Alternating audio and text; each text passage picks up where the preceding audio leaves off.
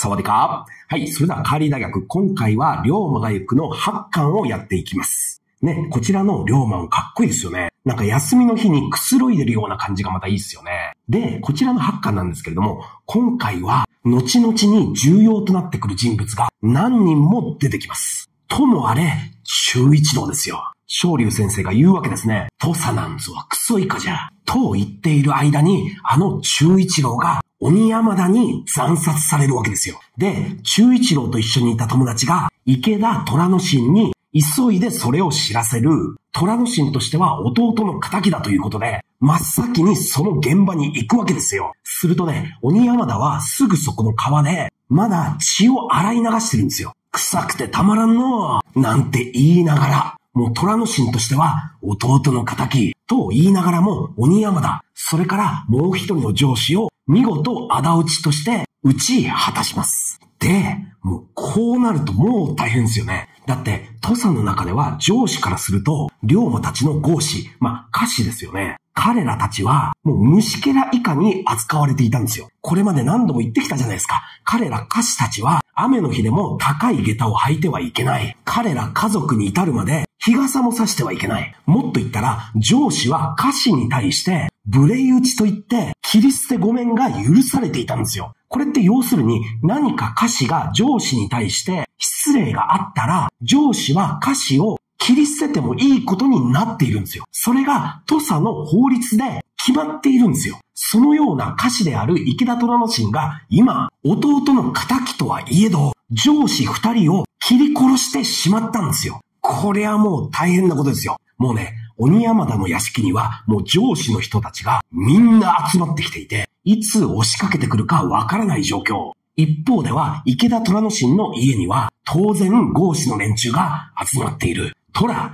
ようやったおまんは武士の鏡じゃこれで土佐の武士は真っ二つじゃたまらんのみんなで長年の上司の恨みを晴らしちゃる。まあ、こういうことですよ。で、当然、龍馬のところにもその知らせがやってきます。アギは、竹地先生は剣術戦技でハンガイに行っております。そうなんですよ。あの竹地半平太が、こんな時に限って不在。竹地先生がおらん今、総大将は龍馬さんでなければ、合子はまとまらん。ともあれ、龍馬は虎の神のところまで行く。すると、もう現場は盛り上がりに盛り上がってるわけじゃないですか。関ヶ原の恨みを今晴らす時じゃ。おーなんて言ってるわけですよ。ただね、それに乗る龍馬でもないわけですよ。ちょっとトイレに行ってくる。なんて言いながら、一人で抜け出して、鬼山田の屋敷まで、テクテクと歩いていくんですよ。坂本龍馬じゃ。坂本が一人で切り込んできよった。という風に、もうこっちもこっちで盛り上がってるわけですよ。龍馬としては、なんとか上司と歌詞が喧嘩せずに解決できる方法を見出したかったんですが、いや、実際ね、何度も相手の挑発に乗らずに、話し合いで決着をつけようとするんですが、もうね、全然話にならんわけですよ。最終的にはもう切り込んできたので、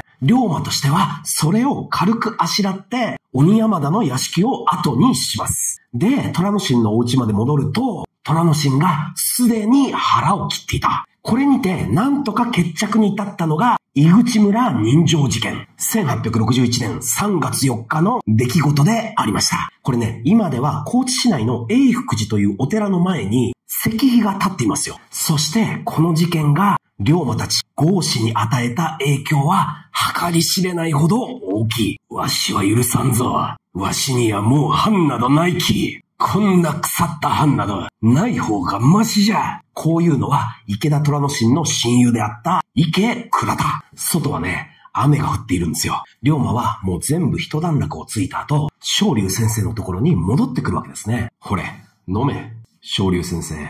今夜は冷えますな。ん？まあ、こう雨が降っちょるとな、腹が底冷えするほど冷えちょります。昇竜先生。土佐は故郷と呼ぶには冷たすぎる。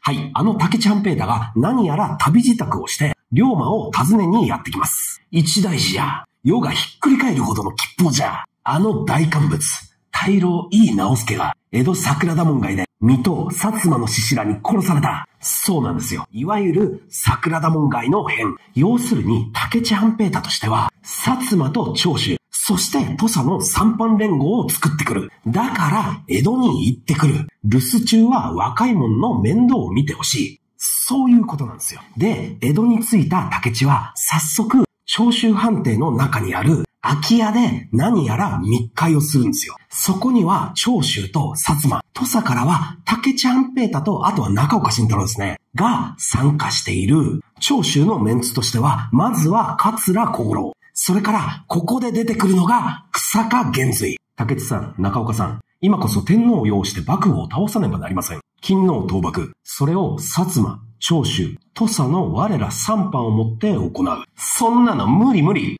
なーに夢みたいなこと言ってんのよ、草が。こうして出てくるのが、あの高杉新作ですよ。ともあれ、薩摩、長州、土佐の三藩で、それぞれの藩の反論を統一し、互いに協力し合って倒幕を実行する。こうした密約が交わされるわけですよ。そして反論を倒幕として統一する。この大きな宿題を持ってきて、土佐に帰ってきた竹地半平太。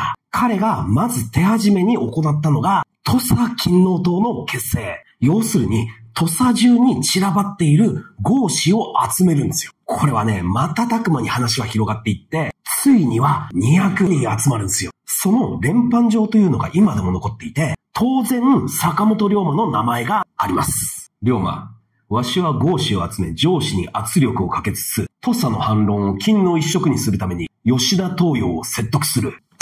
はい、ここで出てきましたよ、吉田東洋。要するに、この人は土佐藩の首相であります。この吉田東洋に関してはいろいろエピソードはあるんですが、まあ一言で言えば文武両道の人で、人物ではあるんですが、ただ一つだけ欠点があるのが、身分意識があるところ。ついでにこの時に吉田東洋が目をかけている後藤翔二郎と乾大輔。まあ、後の板垣大輔ですね。もう登場してきます。で、もう一つ言っておくと、あの岩崎弥太郎。三菱の創業者ですよ。お主には才がある。ということで、その才能を見込んで、吉田東洋はこの岩崎弥太郎を下横目と言って、まあ一言で言えば密偵ですね。竹地半平太とその周りの合子連中が何やら騒がしい。ということで、合子の動向や情報を上司に通報する、まあ、下っ端役人ですよ。に取り立てられます。で、とにかくも竹地半平太。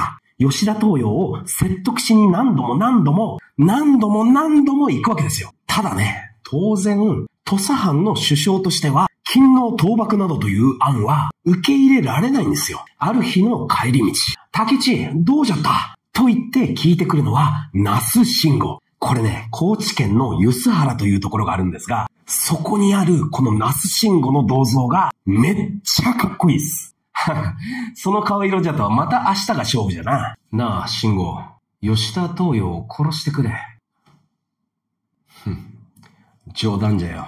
那須さん、こんな夜更けに呼び出して何事じゃ。こうして龍馬が呼び出された随山塾には、竹地半平太、那須慎吾、この二人が何やら暗い顔して座っているわけですよ。龍馬、わしは吉田東洋を切る。アギ、この鬼がおかしなホロを吹いちょる。おい、まさかそんなことを許すがか？いや、許さん。許さんが、わしは知らんかったことにする。狂ったかえ、アギ。そんなもんは許しちょるのと一緒じゃ。どうやら土佐に暗雲が立ち込めてきます。い視線に耳も